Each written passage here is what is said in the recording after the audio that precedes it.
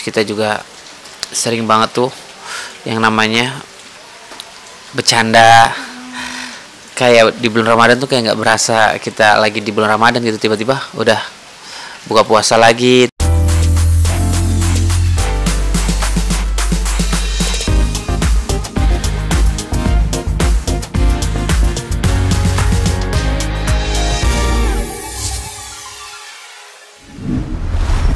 selama saya di dunia entertain untuk acara sahur ya untuk acara Ramadan ini baru pertama kali saya main sinetron.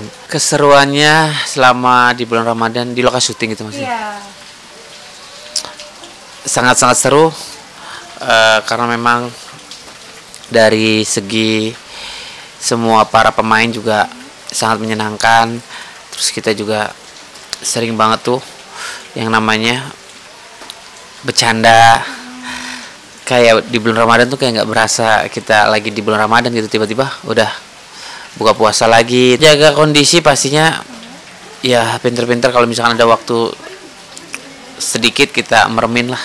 Karena yang paling penting itu istirahat. Kadang bikin bukaan bukaan yang manis-manis kayak yang lagi viral. Aku tuh kadang nih sebenarnya nggak boleh jadi contoh ya. Ini siang-siang kalau nggak sore-sore nih menuju jam 6 nih.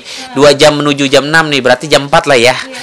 Itu wah udah capek panas haus lapar. Kalau lihat YouTube nih makanan terus lihat makro lah ya bahasanya ya.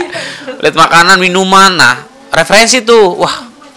Mau bikin ini ah buat anak-anak. Oh mau beli ini ah buat anak-anak. Kadang gitu sih